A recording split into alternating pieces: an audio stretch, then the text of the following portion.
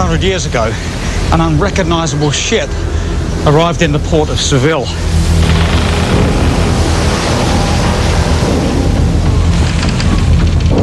Its crew was reduced to just 18 emaciated and starving men.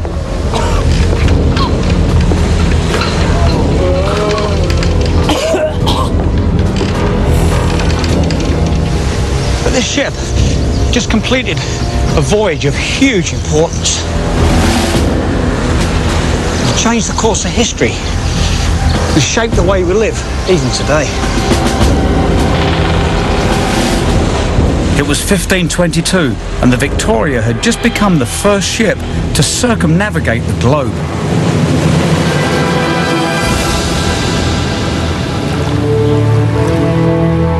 This voyage opened up the last great ocean, created new trade routes and revealed the true scale of our planet.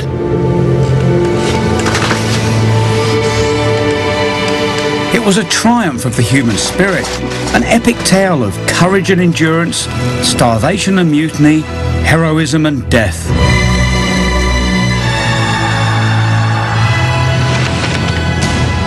And it turned one man, Ferdinand Magellan, into one of the most celebrated explorers in the history of the world. But behind the legend of this great voyage of discovery lies another story.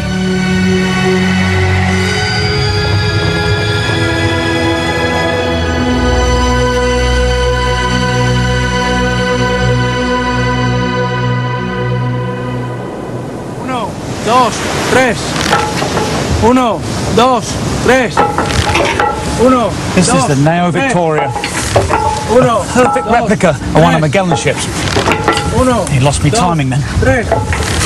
Concentrate. Uno, dos, But Paul, it is one, two, three. Okay. uno. Thank you, Jose. That's Jose as the ship's captain.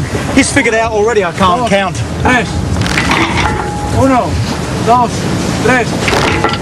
Uno, dos, tres. Nearly 500 years on, this modern replica is circling the globe itself to celebrate one of the most challenging voyages of maritime history and the men who made that journey. As an adventurer myself, you know, I've climbed on Everest. Spent 20 years in the most remote polar regions. Yet the hardships I've known, and nothing, just absolutely nothing, compared to what those men experienced.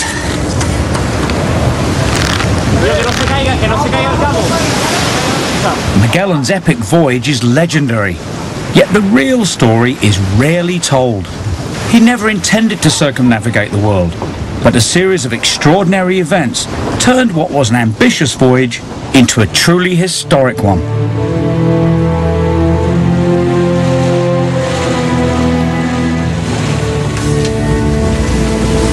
Great voyage started on the 21st of September 1519 when they set sail from Spain into the unknown.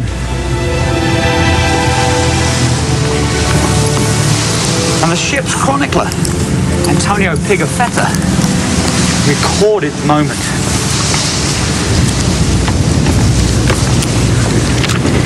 Just find the right page. And he wrote this. The fleet, having been furnished with all that was that was necessary, necessary for for it, and having in the five ships people of diverse nations to the number of 241 in all, was ready to depart. And firing all the artillery, we set sail.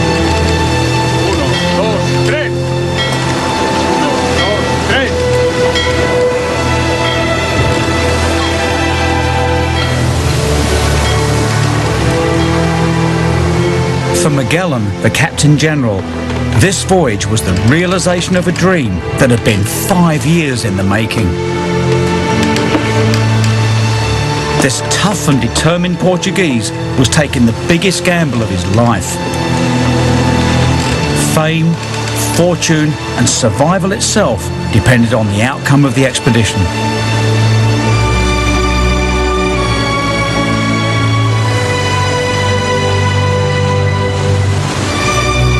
Among the officers of the fleet was an ambitious ship's master called Juan Sebastian Elcano.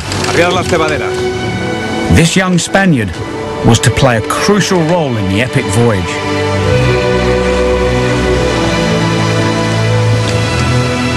Magellan's goal was purely commercial, to find a Spanish trade route to the world's most precious commodity, spices. In the 16th century, they were worth more than gold. But for Spain, they were unreachable.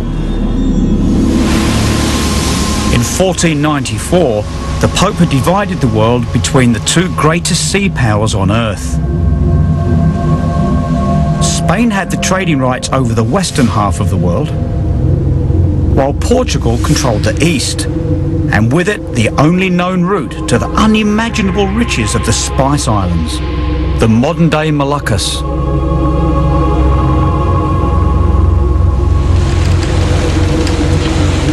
Magellan's bold idea was to find a westward route to the Spice Islands through Spanish waters. It was an incredible plan. Such a sea route had never been sailed before, and no one even knew if it existed. If he could find the elusive route, Spain would become the richest nation in the world, and Magellan would share that wealth. He commissioned a fleet of five robust trading ships, carracks, specially designed to navigate the treacherous waters of the open seas.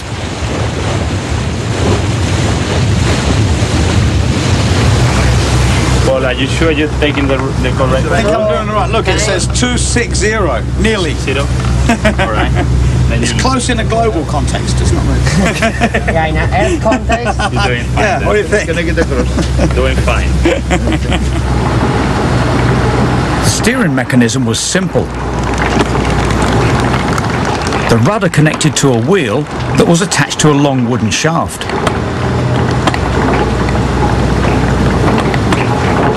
Holding the course was all about brute strength. I'm actually on course at the minute, but it's not very easy. You know, on a modern boat, there's a lot of feedback between the rudder and the tiller or the wheel.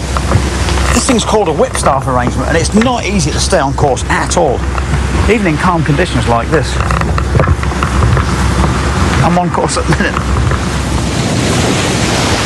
The course that Magellan was planning would take him beyond charted waters into the unknown. It was a journey that many believed was impossible. Yes, okay. Yeah, I'm just talking about Magellan. They're off on the, the fleet on this great journey to get all these incredibly valuable spices. And I just want to talk to you about how easy or hard it must have been to get them. Well, very, very difficult because uh, obviously uh, there were no charts of any description. And I understand it wasn't even on the maps those days. No, there was no maps, uh, proper maps really. It was, we got a map here, which is from about the same period. Okay. As you can see, this is a bit of the Brazilian coast. A few of the islands in the Caribbean already plotted be- uh, by Columbus and his followers. And then this blob Yeah. of land, which uh, it finishes here. Oh, crikey. So a- the- south, south of, um, of Cape of Good Hope, but Yeah. not much. So Sure. this was an unknown area for, for the, in those days for the map makers. Uh, you know, Wasn't it? Basically, completely unknown. What a great act of faith that there might even be a way through it.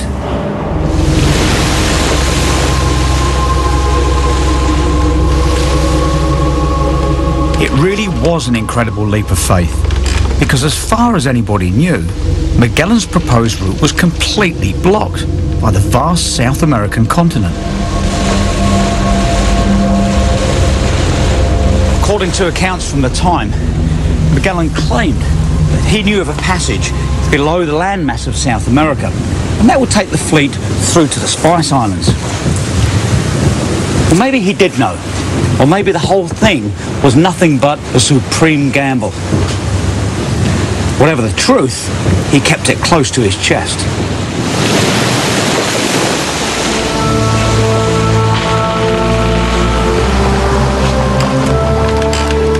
Magellan never revealed the source of his belief in the existence of a passage, but it probably came from rumours that abounded in the secretive world of 16th century navigators. The Captain General did not wholly declare the voyage which he wished to make, lest the people from astonishment and fear refused to accompany him on so long a voyage as he had in mind to undertake. In view of the great and violent storms of the ocean sea, whither he would go. Decision to keep the crew in the dark was extremely dangerous, and it would come close to destroying the entire mission. So what was it about this obsessive and determined man that drove him to take such an incredible risk? Manuel Villas-Boas is a direct descendant of Magellan and a bit of an expert on his famous ancestor. In trying to understand the man himself, um, how would you describe him? A man of contrasts, I would say. He was physically short, very sure of himself, not an assuming man. He is not a man that one sees bragging about his aristocracy or anything like that.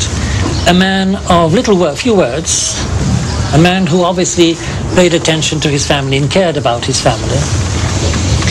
Um, very little more is known. The man disappears behind the, the project. One thing that is known about Magellan is that he spent eight years as a soldier with the Portuguese fleet in the Indian Ocean. Here, he earned a reputation as a fighter, a risk taker, and a glory seeker, but returned home to less than a hero's welcome. He arrives back in Portugal and he's slighted. He's slighted by, by the court. And he says, okay, I've been slighted. I'm going to do something which will prove these people completely wrong. I'm going to finish the task that Columbus started and didn't finish. And in the process, emulate what Vasco da Gama had done around Africa, I will do around South America.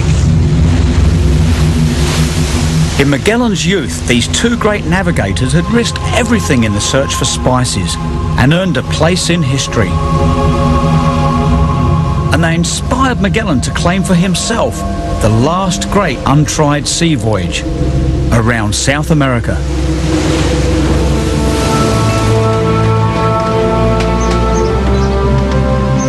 Achieving this extraordinary ambition became his obsession.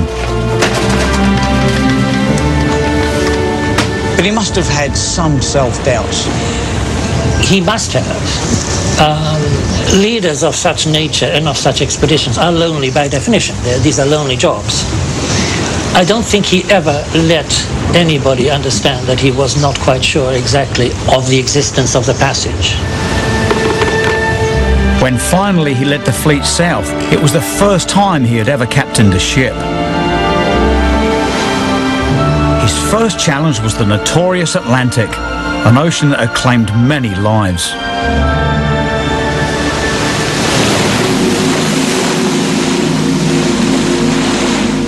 On October the 3rd, 1519, the weather worsened. Many furious squalls of wind and currents of water struck us head on. And as we could not advance, and in order that the ships might not be wrecked, all the sails were struck. And in this manner did we wander hither and yon on the sea, waiting for the tempest to cease. For it was very furious.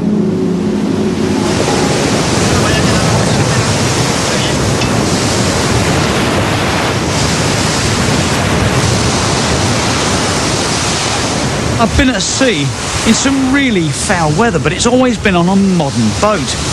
And with that modern safety net that we have, satellite phones, satellite communication, satellite GPS, even emergency beacons, you press the button and you can get some help. Old boats like this, Magellan's boats, they had none of that. The sense of risk must have been absolutely enormous.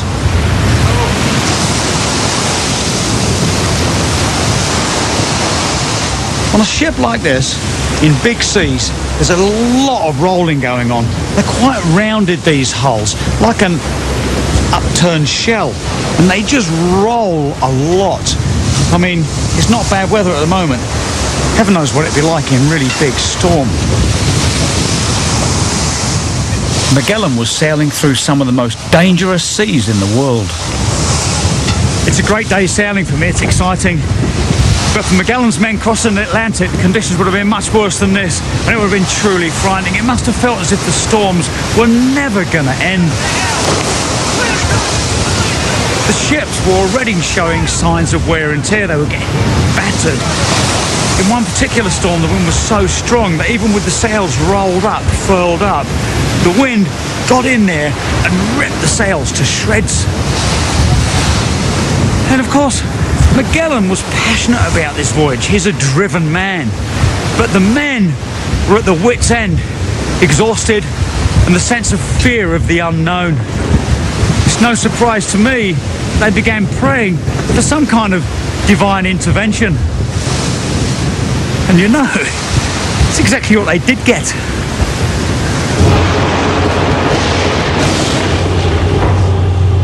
During these storms, the body of St. Anselm approached us several times on a night which was very dark in a time of bad weather.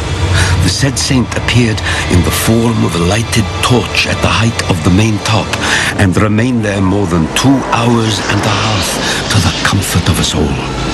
For we were in tears, expecting only the hour of death. And when the holy light was about to leave us, it was so bright at the eyes of all that we were for more than a quarter of an hour as blind men calling for mercy. This strange and dramatic phenomenon is called St. Anselm's or St. Elmo's fire. And I've seen this phenomena. Bringing boats back across the Atlantic, I've seen this bright light at the mast. Really surprising. Thought it might just be a little flash, but it hangs around for over a minute. What actually happens is in a big thunderstorm, the clouds become highly negatively charged. And in the end, the whole voltage tension adds up to about 30,000 volts per square centimetre. And then it all discharges in a spectacular fashion from the ends of masts and ends of pointy bits on a boat. Now, when these men saw this, they noticed that it always came near the end of a storm, and it does. It always occurs towards the end of a storm. So naturally, they would think, this is a great sign. This is divine intervention.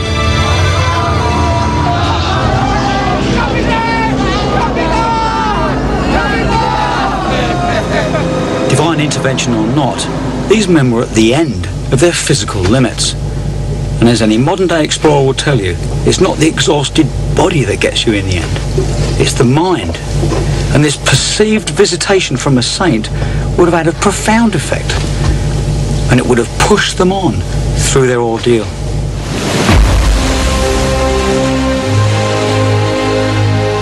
Almost four months after leaving Spain, the battered fleet approached the coast of South America.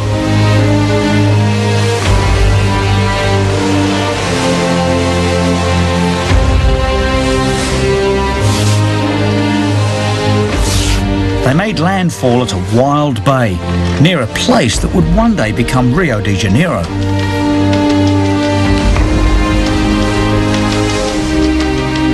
From here, they followed the sweeping coast south. And along the way, Pigafetta recorded many strange and wonderful things. There are an infinite number of parrots.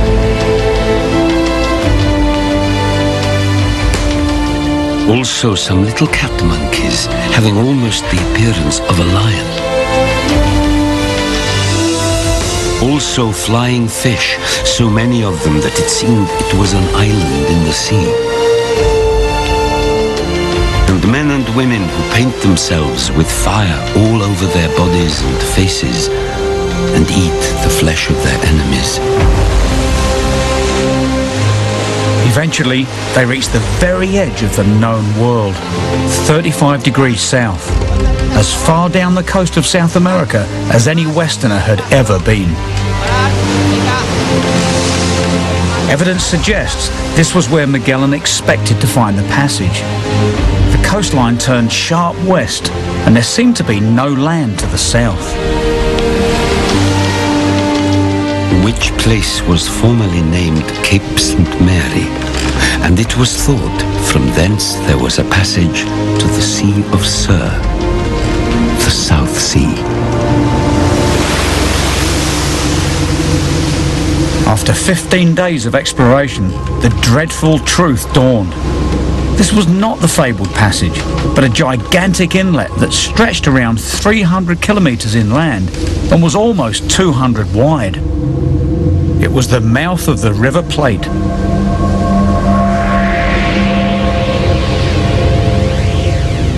It was a disaster. Magellan had sailed into a dead end. Now his certainty about the passage was shot to pieces. But turning back was unthinkable. He made an extraordinary decision to step over the edge of the known world, to sail on where no other European had gone before. Blindly, he headed south along a desolate coast that he named Patagonia, into some of the wildest seas in the world, and into winter.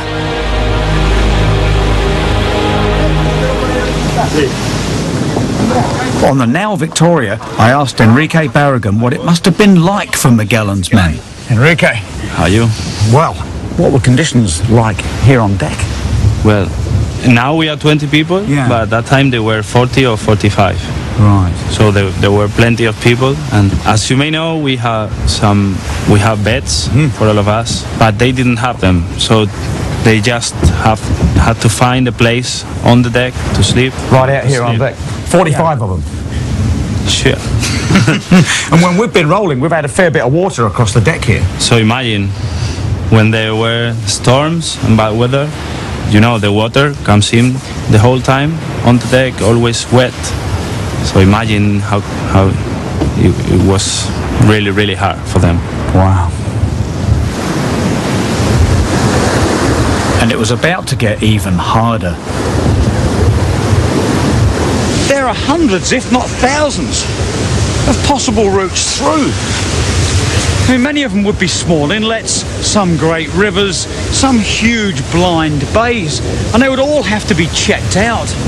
And I can't imagine how hard it would be in poor weather to get part way up there and turn these boats, which aren't very manoeuvrable, turn them around and head them out to sea. They continued south for three months with no sign of a way through.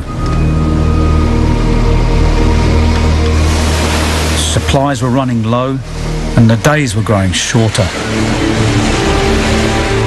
On March the 31st, 1520, just a few days sailing from Antarctica, they sought shelter in a bay they called St. Julian. The men were cold, hungry and exhausted, and morale had hit rock bottom. When Magellan reduced rations, it was the final blow. His captains presented him with a petition demanding to return to Spain. This was not an option for a man who had gambled everything on finding the passage through South America.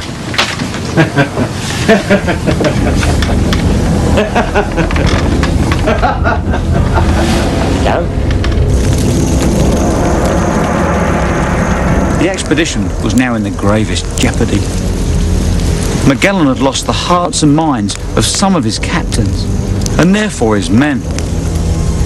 The cold, the hunger, the lack of faith in their cagey Captain General all added up to just one thing.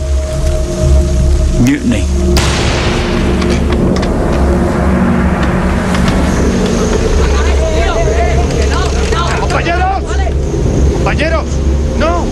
One of the ringleaders was Gaspar Quesada, captain of the Concepcion, who promised the men they would return to Spain once Magellan was out of the way.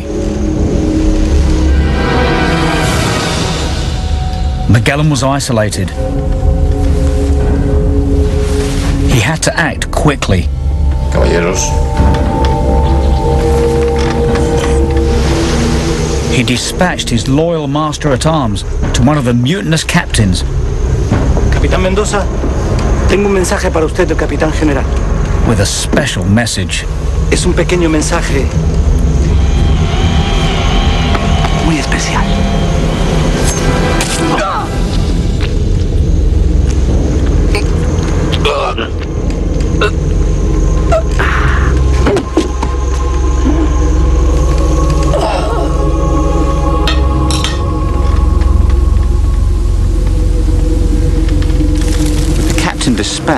the leaderless crew quickly caved in.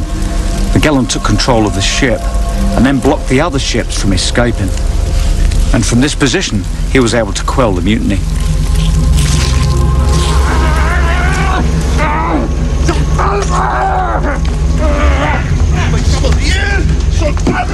But he had to reassert his authority quickly and convincingly. Ah, ¡Perros portugueses, soltadme! He made a brutal example of the treacherous Captain Quesada. ¡Portugueses! ¡Pah! ¡Pah! Vuestras familias y vuestra casta se pudra en el fondo del mar. Contigo en el fondo del mar. ¡Ah! ¡Ah!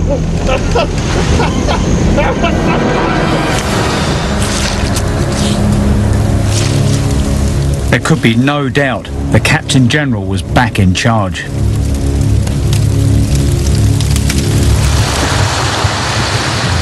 With the mutineers put in their place, it was time to try and settle in for the winter.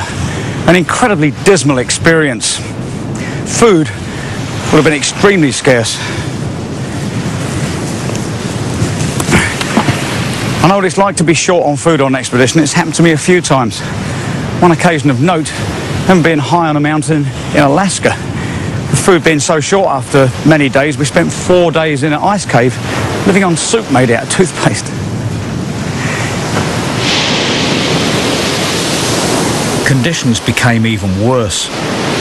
One of the fleet, the Santiago, was smashed to pieces on the rocks. But nothing seemed to sway Magellan from his obsession.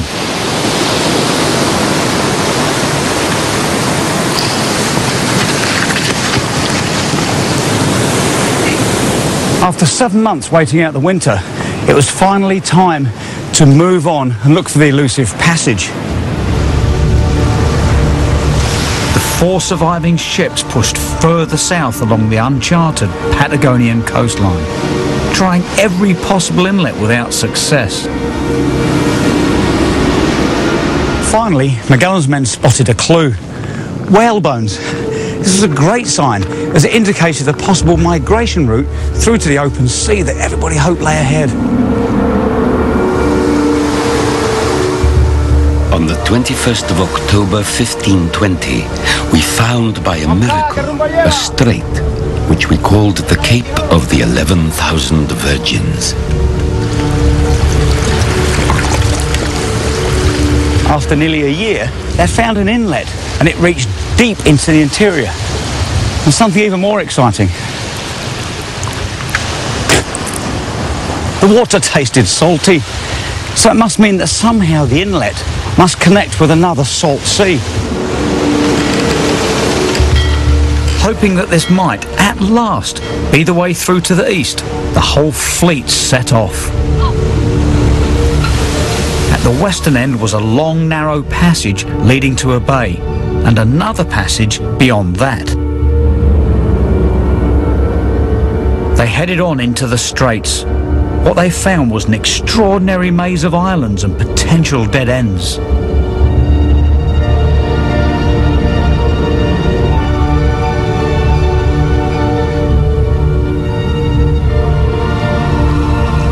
This strait was a circular place surrounded by mountains. And to most of those in the ships, it seemed that there was no way out of it.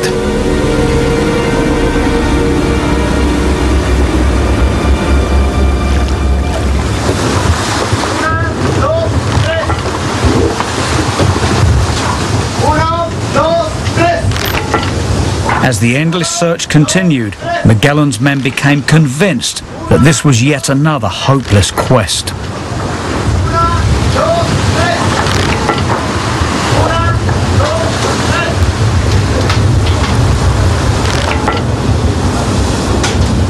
It was in these straits that Magellan lost his second ship. But this time, it wasn't due to weather. The San Antonio headed back to Spain in an act of rebellion. It was a devastating blow. The San Antonio was carrying most of the provisions that Magellan was relying on for the journey ahead. he ordered the remaining three ships to proceed northwest by west. It was a terrifying journey through a strait we now know to be 530 kilometres long.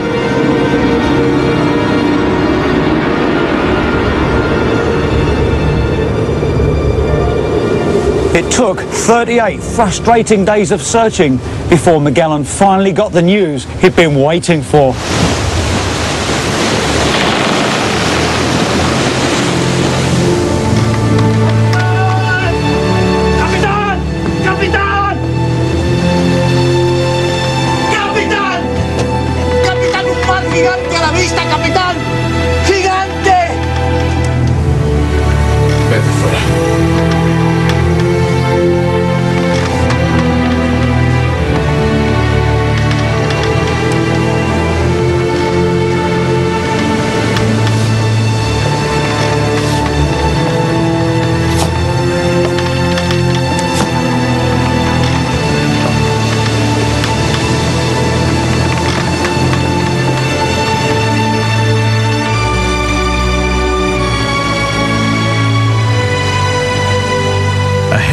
Was the open sea.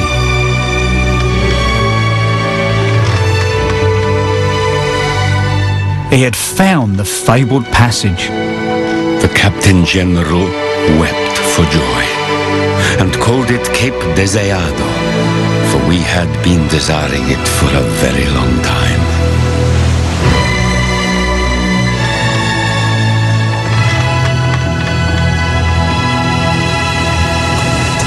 Proud moment, Magellan must have realised, without doubt, he now stood shoulder to shoulder with his great boyhood heroes, Columbus and Vasco da Gama. His dreams had come true.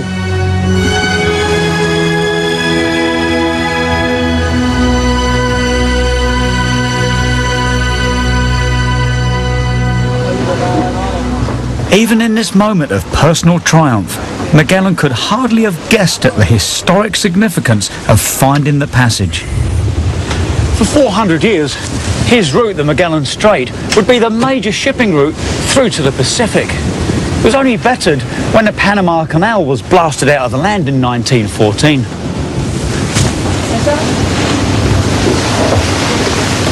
It was an astonishing discovery, but Magellan and his men hoped it was the prelude to something even greater. The western route to the riches of the Spice Islands.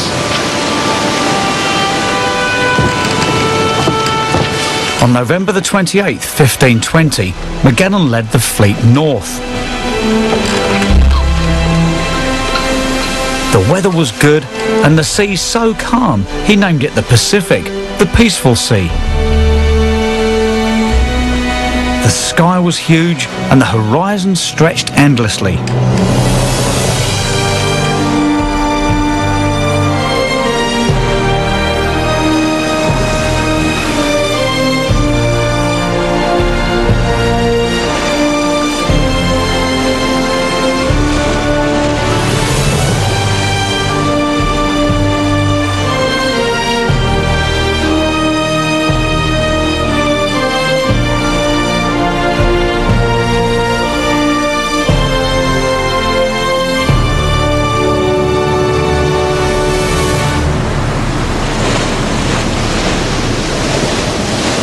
Even the sky at night was different.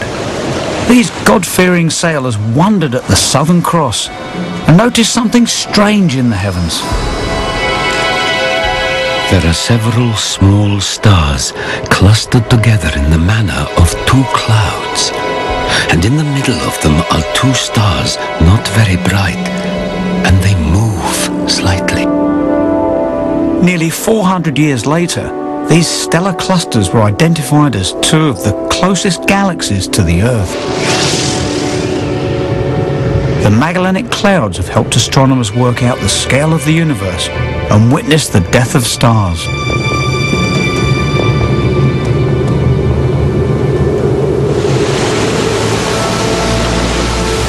On December the 18th, 1520, the fleet turned northwest into the heart of the Pacific. Unknowingly, Magellan had just made a serious error. He thought he was within three days' sailing of the Spice Islands. But that belief was based on maps of the then known world.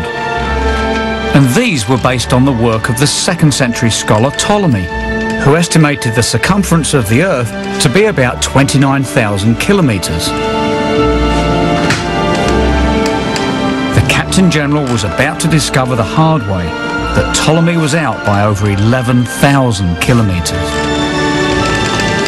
This missing area, 28% of the world's circumference, is the Pacific.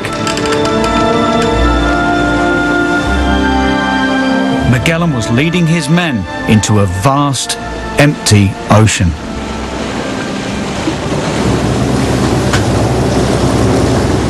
On the modern Nao Victoria, our captain, Jose, has some idea of what that journey must have been like.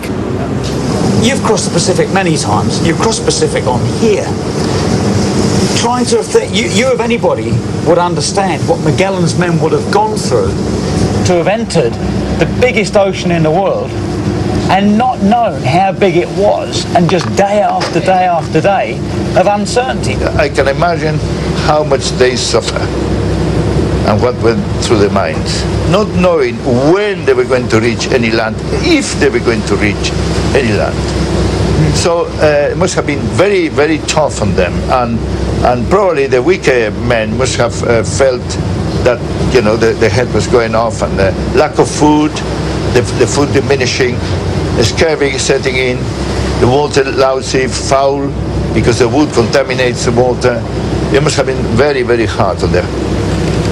But obviously the the command of Magallanes, a strong man and uh, very tough with the crews, they probably kept the, the whole thing going on. Uno, dos, tres.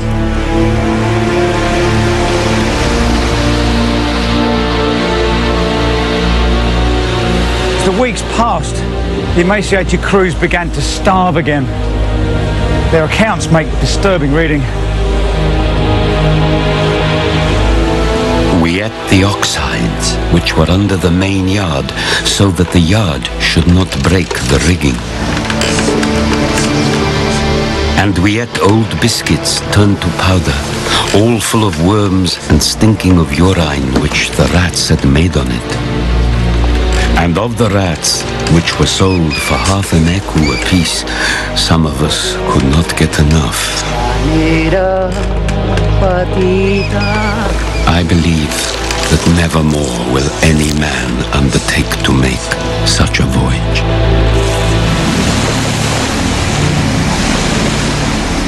By late January 1521, Magellan had led the fleet northwest across thousands of kilometres of open ocean without relief.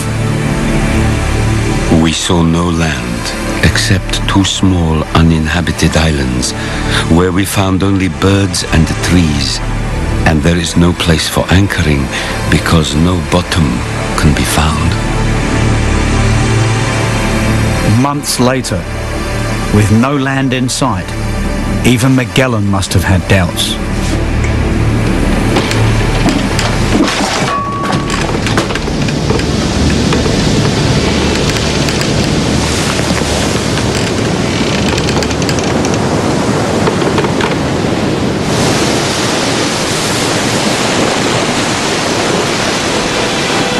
But almost five months and 20,000 kilometres after they exited the Straits, they finally made landfall at about 10 degrees north of the equator in a place we now call the Philippines. In an astonishing feat of navigation, Magellan had led the fleet to safety. The Spice Islands were now no more than a few days' sail to the south. It seemed that his great gamble would pay off. The islands of the Philippines must have looked like paradise. It was fresh water, lush rainforests filled with fruit, and the local people seemed to welcome them. Magellan set about securing the route to the Spice Islands by claiming the Philippines for Spain. His most effective tool was Christianity. He knew that to convince these people to adopt this religion, he had to persuade them that it's worth their while to do so. One of the arguments he used was of the invincibility which would derive from it, and this invincibility was demonstrated by the strength of his armament. The blast of the cannons terrified the natives and gave a measure of his power. When attempting and succeeding in baptizing and Christianizing the local inhabitants, Magellan is at the same time ensuring that through this religious conversion, they implicitly accept their status as subordinate to the Spanish crown, seen here as the ultimate symbol of worldly authority and religious virtue. Really like tight, structured framework as which to Oh, live yes. by. Live by these rules. Yeah. Live by these rules, obey to these people, submit yourself to these people, and you will be invincible. So would it have been perhaps uh, like colonization? the very beginnings, the foundations of colonization. It would have taken many decades for the following Spanish fleets to effectively transform the Philippines into a, a- a Spanish colony. But that's, that was the foundation upon which they built. Confident of his faith and his invincible weaponry, the Captain General made a fateful decision. To show his support for a local chief, he decided to attack the rival chief of Mactan Island, Lapu Lapu, who had refused to be baptized into the Christian faith.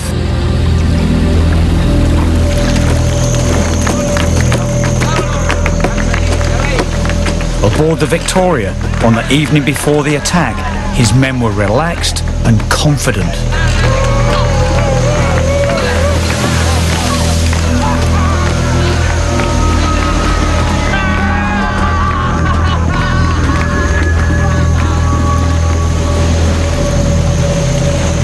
But on Mactan Island, Lapu Lapu was taking Magellan's threats seriously. He summoned his most ferocious warriors and invoked the gods of war.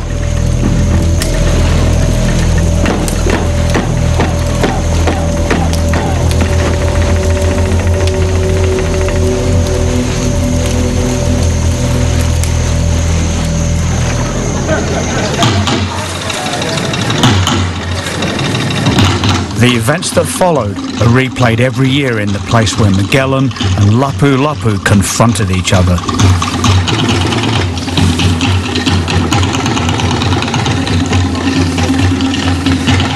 It was a clash of cultures and religion. For Filipinos, it's come to symbolize the struggle for independence.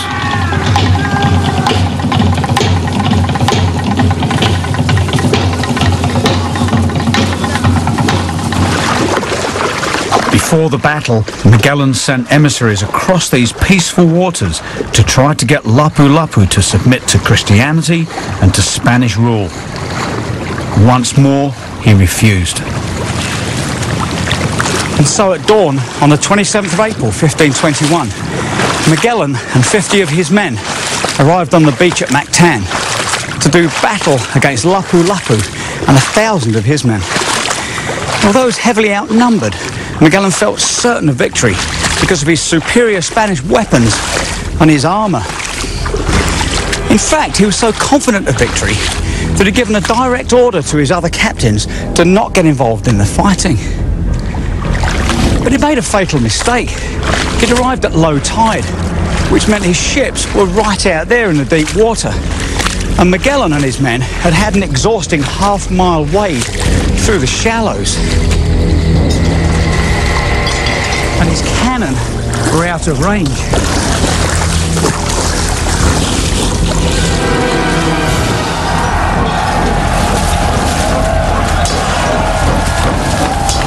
As the battle ensued, Magellan's men soon started running out of ammunition, and Lapu Lapu's men surged forward.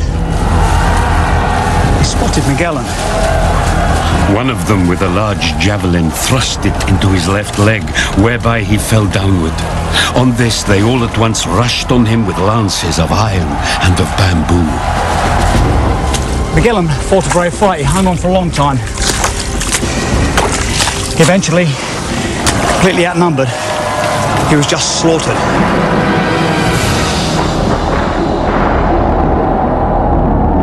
They slew our mirror, our light, our comfort, and our great guide. Magellan never circumnavigated the globe. He didn't even reach the Spice Islands. His dreams ended here, in the Philippines. This was a complete tragedy which terminates everything. His entire dream, his planning, his voyage, all the dramas of the navigation through the various oceans end here and end here totally. So what do you think? If Magellan had won this battle, how would the expedition have turned out in the end? Had he not died and had he found the, the Spice Islands, which were very near, my guess is that he would have come back the same way he went, through the Pacific, which had been never been done before. And it is most likely, knowing the ocean, that he might have lost the entire fleet and himself. And with that, nothing would have remained of this epic voyage.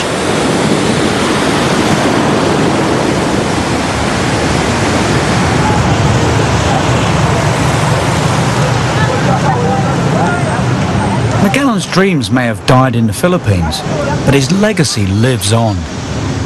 In this dusty little shrine, you can still see the cross he raised so hopefully when he first arrived on these islands. It's one of the holiest relics in one of the most Catholic countries in the world. It might have been the only relic of Magellan's voyage if another man hadn't seized the chance of fame and fortune.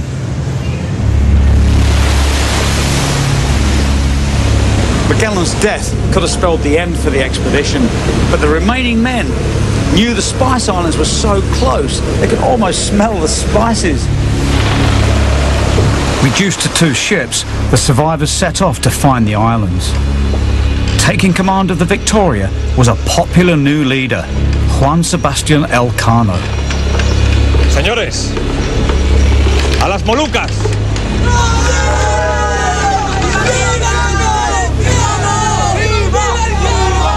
History was to deny him his rightful role in this epic story.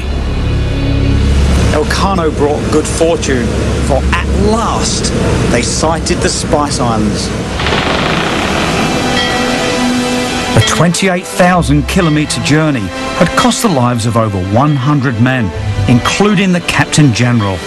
But the surviving crew finally reached the Spice Islands and realised Magellan's dream.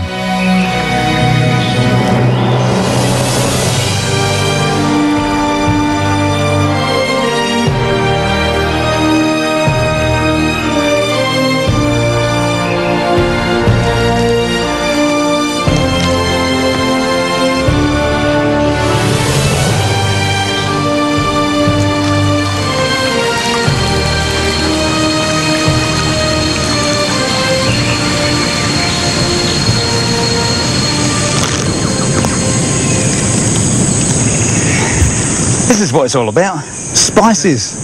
These are cloves, Yes, right? They're cloves. They are the flowers of the clove plant. They don't look very familiar though. But they're the we more uh, see them as like this, let's the look. dried ones. Yeah. Yes. Smells just like my mum's apple pie. Yes, they're aromatic. But you know, I can't help but, but think this, Augusto, is that holding these in my hand seems hard to believe that the men went to such risk and pain and suffering for something that seems, to be honest, completely ordinary. And how much would would they have been worth? I mean, pound for pound. Or pound for pound, that would be um, command a high price. Imagine a clove tree could produce only seven pounds per tree, and the, uh, here still have to dry them, and therefore the dried ones would be very expensive. And in relation to gold, how about? Yes. So uh, they'll be uh, more than, weight more than gold itself. So pound for pound, Yes, pound for pound. Yes. worth more than gold.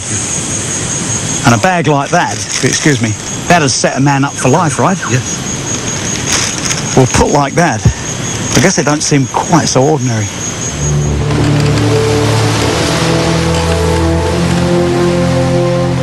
Elcano and his men understood the value of the ton of spices loaded onto each ship. And they knew that to make their fortunes, they had to get them back to Spain.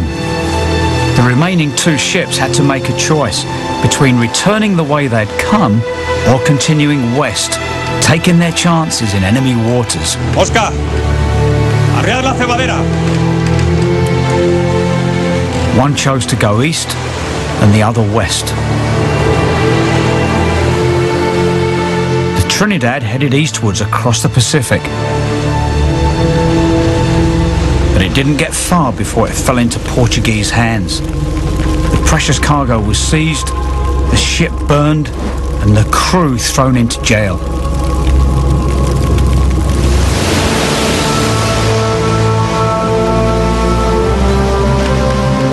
Elcano sailed west on the Victoria.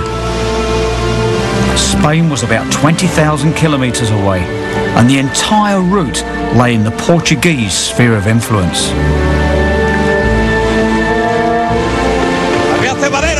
To avoid capture, he navigated vast tracts of uncharted waters.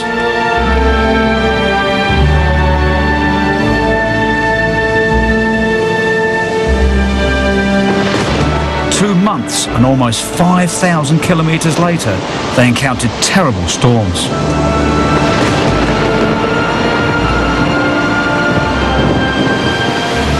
One of the storms they went through was so powerful that it actually broke this mast. And like everything that broke on the ship,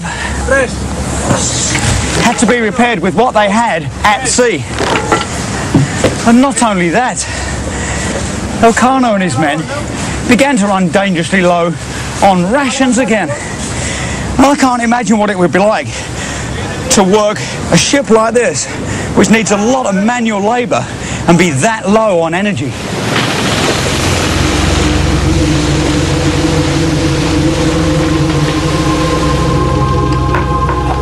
Starving men began to develop scurvy.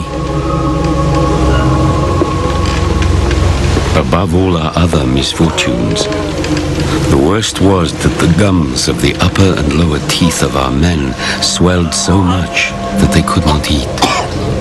Twenty-five or thirty men fell sick, of whom nineteen died.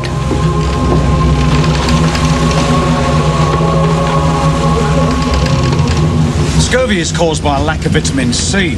And here was the terrible irony. The crew was sitting on a cargo of cloves. And what they didn't know was that it contained vitamin C. And this would have saved them. As the ship headed back to Spain, more than half of them would die of scurvy or starvation.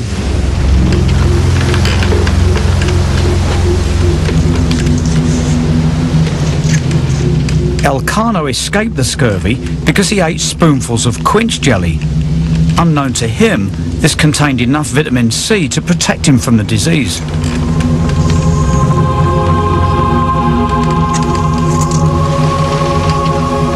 It's probably what enabled Pigafetta to keep writing his diary.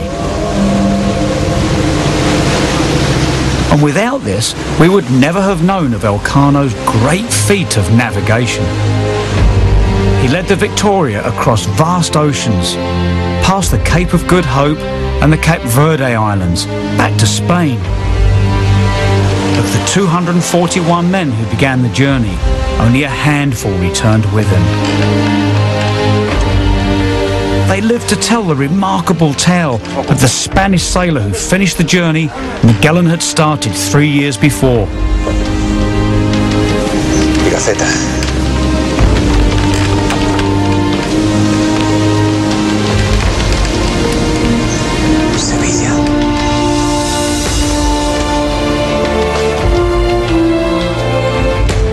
Monday, the 8th of September, 1522, we cast anchor near the Mole of Seville. And we were only 18 men, for the most part sick, of the 60 who had left Malacca.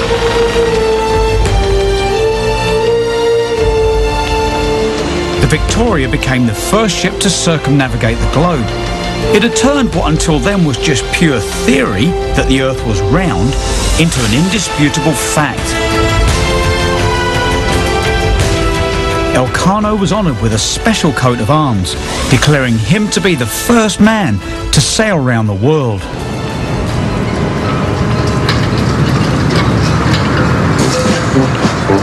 Five centuries later, sailing round the globe is still a remarkable achievement.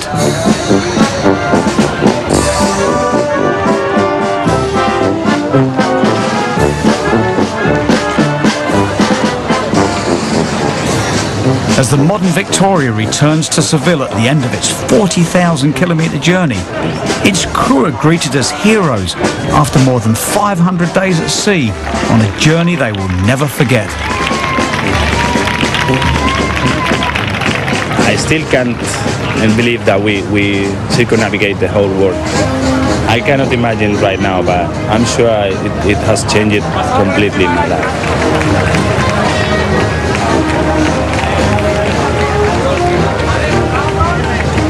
A realization of my dreams to the utmost.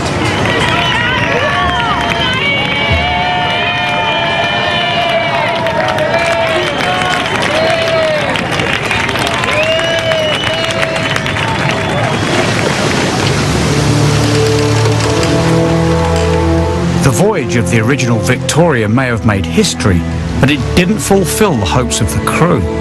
They never made their fortunes.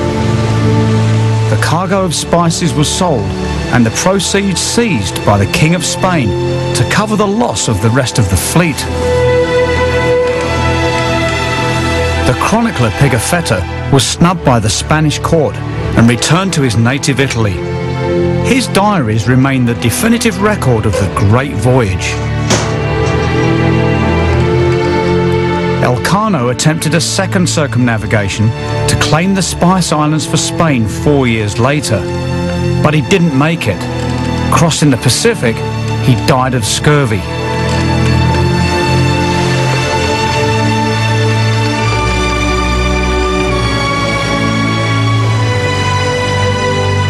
As for Ferdinand Magellan himself, although he never completed the voyage, the popular perception is that he was the first person to circumnavigate the world. Unless that is you go to Spain. And they'll tell you the first person who sailed around the world was Juan Sebastian Elcano. But does it really matter? After all, they're both great men. Magellan had what it took to dream up such a daring voyage and make it happen. And Elcano had the strength and tenacity to finish it. They and the men who sailed with them shared one of the greatest voyages of discovery. The voyage that would define the shape and size of our Earth and its oceans and change the geographical, spiritual and political landscape forever.